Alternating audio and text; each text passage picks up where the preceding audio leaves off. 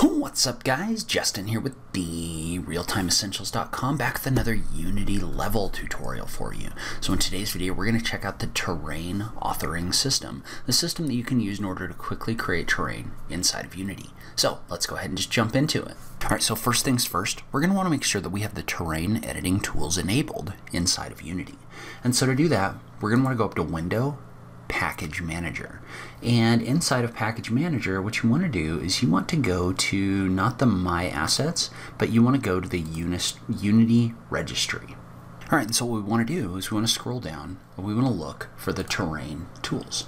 And so you may not see terrain tools in your list, um, because it hasn't been enabled because it's a part of a preview package. So what you want to do is you want to click on the advanced button right here, go to your advanced project settings, and under package manager, you want to check the box for enable preview packages. So preview packages are basically packages that are still in development and they're not 100% ready to go yet. Um, in this case, um, these have been around for a while, so I'm not really sure why they're in a preview package, but um, we're going to go ahead and we're going to enable them. What we want to do is now let's jump back over here.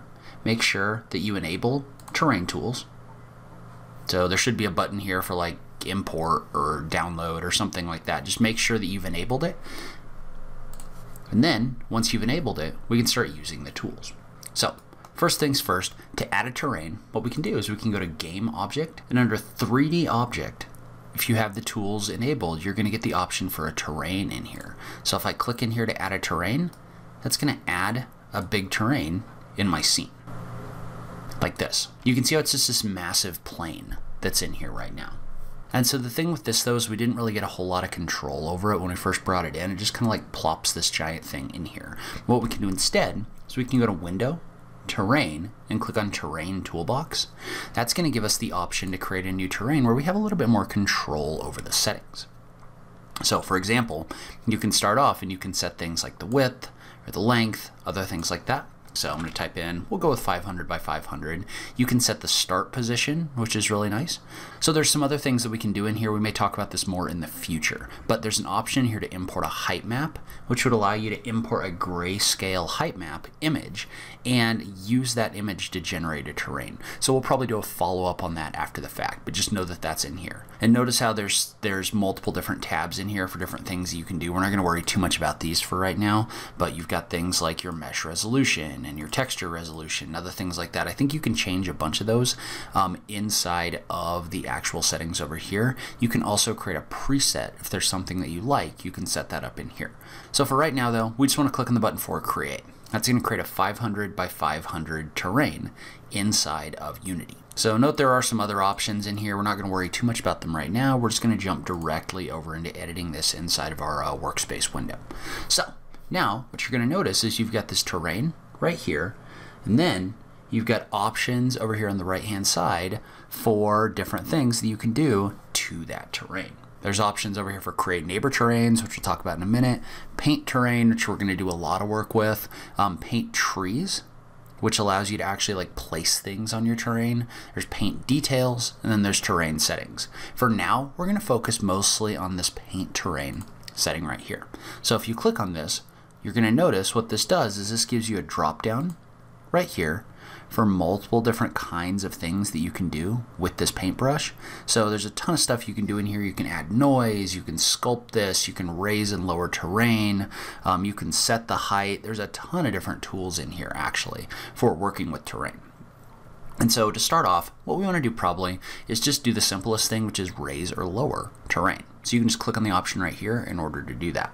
And so what this is going to do is this is going to allow us to affect the way the terrain works inside of our window.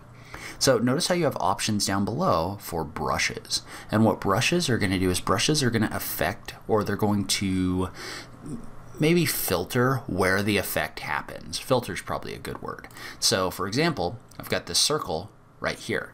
And remember, we've got this set to raise or lower terrain. Notice how this says left click to raise, hold control and left click to lower.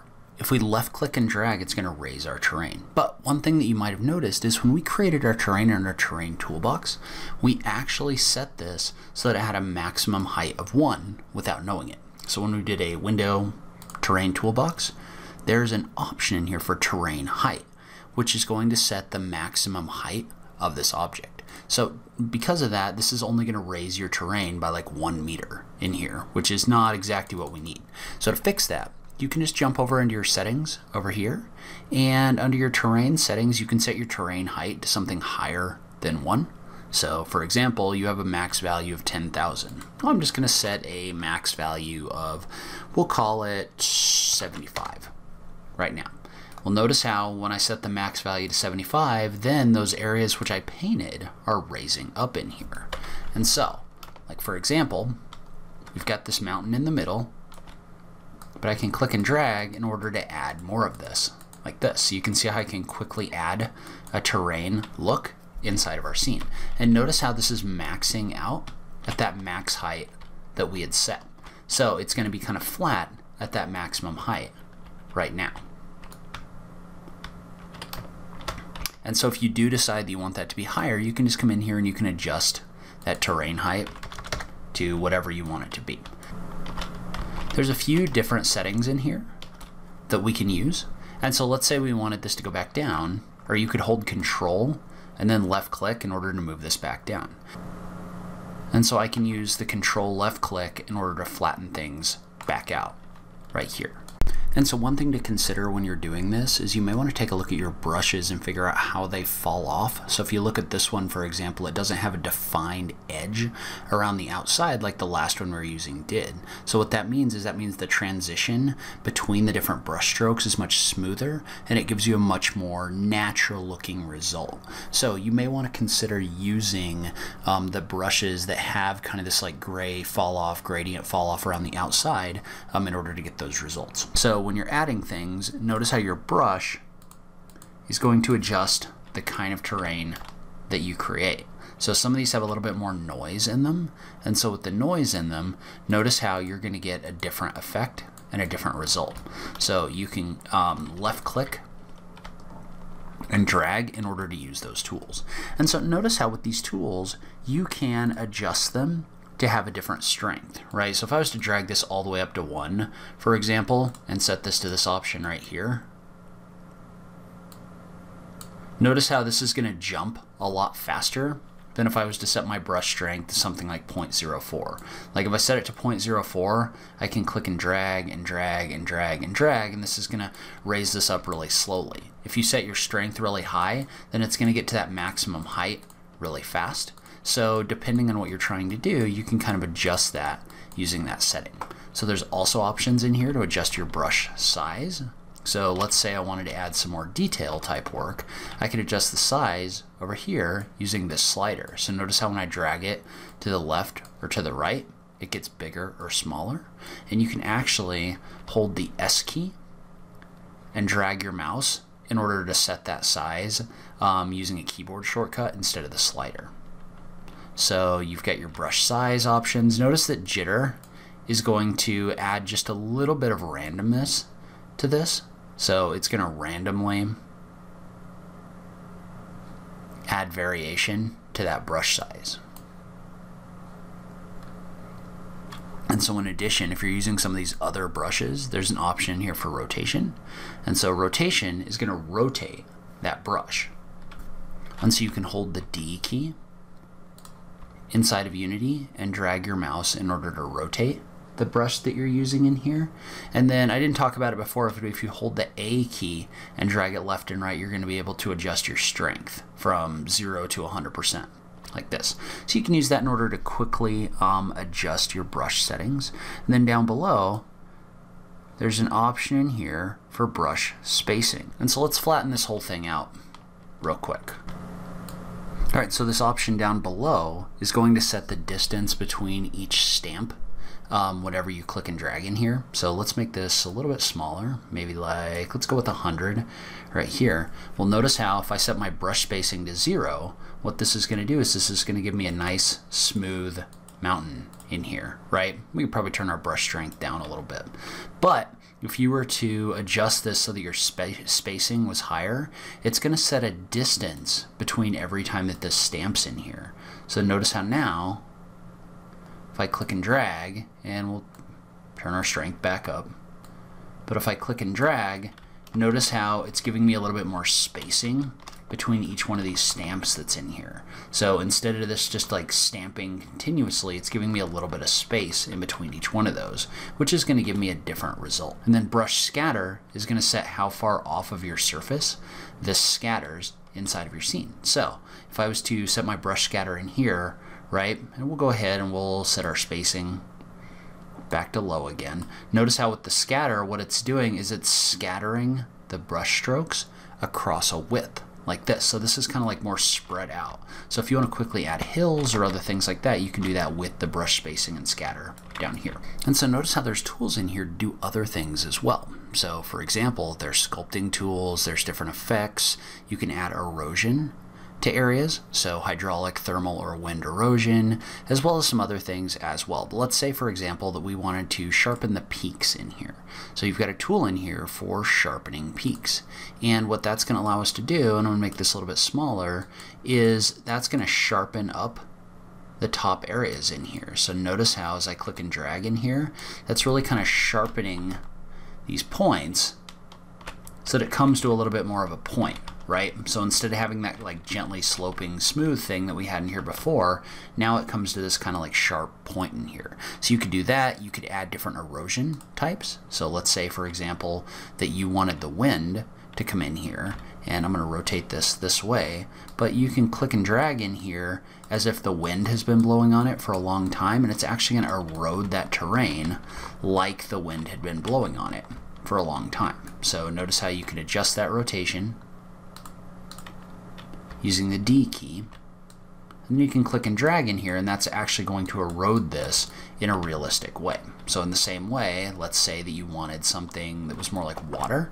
There's an option here for erosion hydraulic. So if we were to click on that, and then click through here, notice how in the valleys, for example, it's going to erode this like water had been draining down it.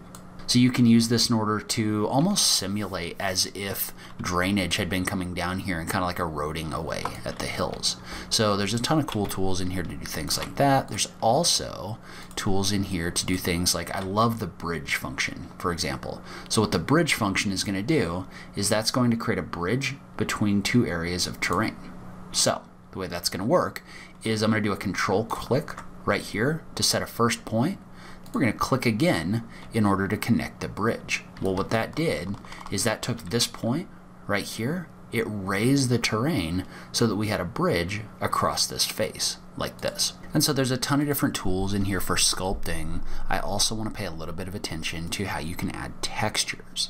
So what the textures function is going to do is that's going to allow us to actually paint a texture onto our terrain. And so the way this is going to do that is by creating different layers that are going to go on our terrain. So let's say, for example, that we were to scroll down and let's go ahead and let's click the little drop down for layers right here. Notice how it's telling us this doesn't contain any layers. So we need to add them. And so we can do that just by adding a layer and let's just call it green terrain. I'm going to click on create and it's going to ask us to select a texture inside of our uh, inside of our scene. And so I've got a texture map in here for the albedo of a ground like this. So I'm just going to double click on that and that's going to bring this in. All right, so this applied our moss material to our surface. And so notice how our moss material first off is tiling really bad because it's too small. If you want to adjust the materials on a layer, you can click on the layer properties. That's going to give you a drop down down here for the layer that you have selected and you can add things like different maps. So for example, let's say I wanted to bring my normal map in. I could drag that over into this slot right here. So in addition, you can also set your tiling. So let's set these to like 15.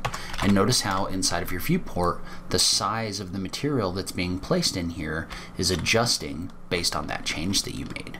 And so you can use this in order to really finely adjust the way that the textures and materials sit on your surface, like this. So in addition to adding one layer, you can also add multiple layers and then paint between them. So let's say, for example, that I wanted to create a new material with some more rocky ground. So we could call this rocky ground and click on create and I've got a material I brought in from Texture Haven, um, a rocky ground material right here that we can use for a new layer. Well, notice how with this layer, right now, it's not showing up on our surface, but we can use the paint texture function in order to add that. So with this selected, if I just click and drag in here, notice how that's going to paint this material on this surface. And I'm going to go ahead and adjust my size up a little bit. But notice how this material is being painted on the areas where I click and drag, like this. Then we could also take this material and adjust its tiling. So 15, 15. Notice how I get that better rocky material in here. And then we could also add our normal map to it, right here, just like this. Note if you get the error that these are not normal maps, you can just right click and go to properties, and then just make sure you set the texture type to normal map. And you can use those same brushes in order to add materials. So let's say we wanted to add some random rock in here. Notice how you can use this brush in order to do that. So you can use this to really quickly add some randomization to your surfaces so you don't get that like tiling texture that's in here. So say we wanted a little bit of moss growing on this surface, we could adjust our brush size down a little bit but notice how I can click in there and I can kind of break that up a little bit just by clicking on the surface. So you can use this in order to paint those different materials in. So in the next video, we'll talk a little bit more about the scattering functions that are in here so you can quickly add trees and other vegetation to your terrains in Unity. But leave a comment below. Let me know if you have any questions. I just love having that conversation with you guys. As always, thank you so much for taking the time to watch this. I really appreciate it, and I will catch you in the next video. Thanks, guys.